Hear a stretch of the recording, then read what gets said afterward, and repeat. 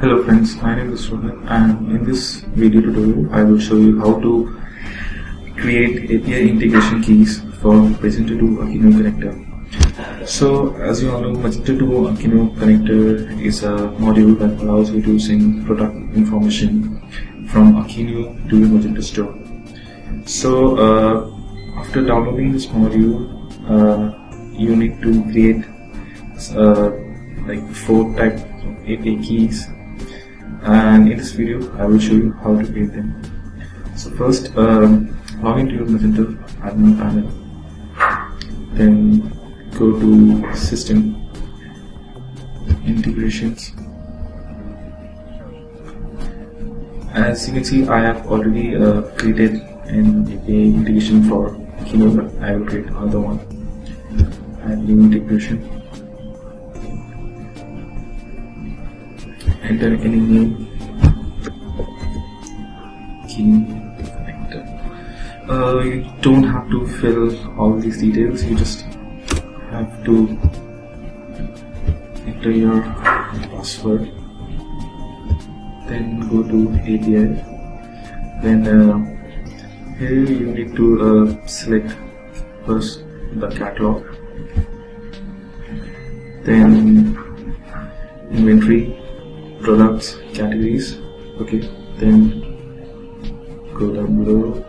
Select stores.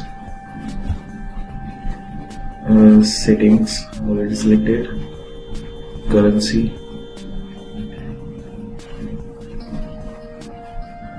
Currency is already selected. Attributes. Then uh, you to also select other settings. Okay already selected. Okay perfect now simply click save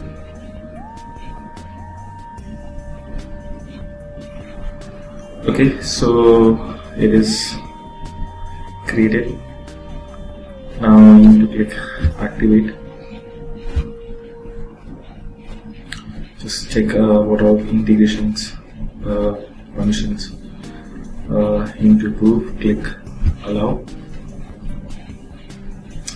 here you go you will find your uh, keys for Akeneo connector. So these keys uh, need to be entered in Akeneo so I will go to my Akeneo platform. So here's my Akeneo platform. Make sure you have uh, installed Magento Akeneo connector in Akeneo this is the uh, menu option. Then go to this option. Uh, whose name uh, basically you have to enter your Magento store URL and then you need to enter consumer key, consumer secret, access token, access token secret which you have created here. So uh, after you have copied everything just simply click save and you are good to go. Okay, thank you.